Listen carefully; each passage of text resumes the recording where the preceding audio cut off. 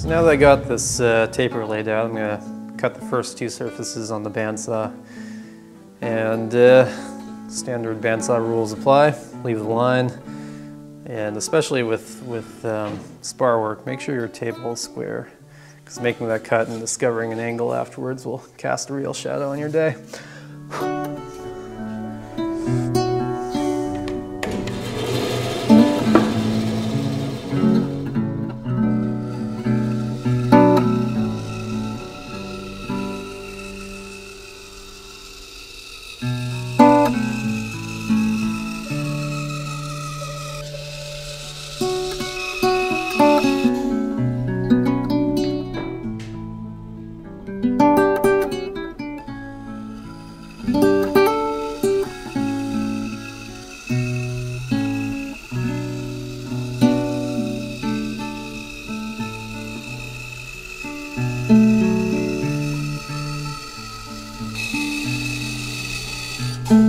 So now we have our, our blank uh, planed smooth and tapered and before we go any farther, this is a really good time to cut a slot for a masthead sheave or a B-hole or uh, any sort of through, through, um, through holes, I guess you could call them, that you're going to put in the spar. Much easier to do it with a square surface than with a round surface.